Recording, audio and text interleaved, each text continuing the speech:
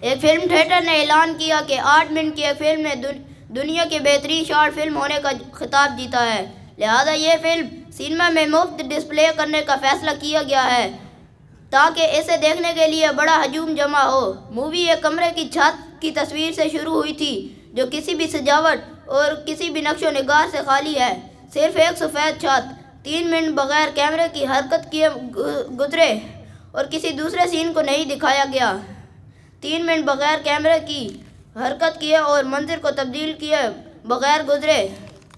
छः boring minute के बाद देखने वालों ने आवाज़ें लगाना शुरू कर दी और उनमें से कुछ लोगों ने थिएटर के अहदेदारों पर एतराज़ करना शुरू कर दिया, क्योंकि उन्होंने छत देखने में अपना वक्त ज़ाया किया। फिर अचानक अक्सरियत में तशवीश पैदा होने लगी और रुखसत होने वाले थे कि बग़ैर किसी तफसील के कैमरा आहिस्ता आहिस्ता छत से दीवार की तरफ़ चला गया।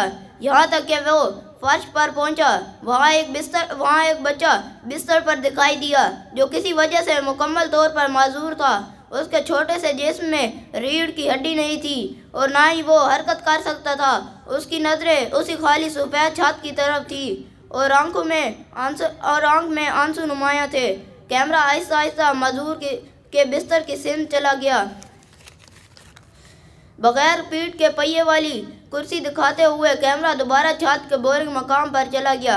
उस बार उसने एक जुमला दिखाया। हमने आपको ये मंजर सिर्फ़ आठ मिनट दिखाया और इस मंजर को ये मजूर बच्चा अपनी ज़िंदगी के सारे घंटे देखता है। आप, आपने सिर्फ़ छः मिनट में शिकायत करना शुरू कर दी। आपसे खाली छत को छः मिनट के लिए भी देखना बर्दाश्त नहीं हुआ। लिहाजा अपनी ज़िंदगी के हर सेकंड की कदर जाने जो आप खैरियत से गुजारते हैं। अल्लाह की करदा हर नेमत पर शुक्र अदा करें।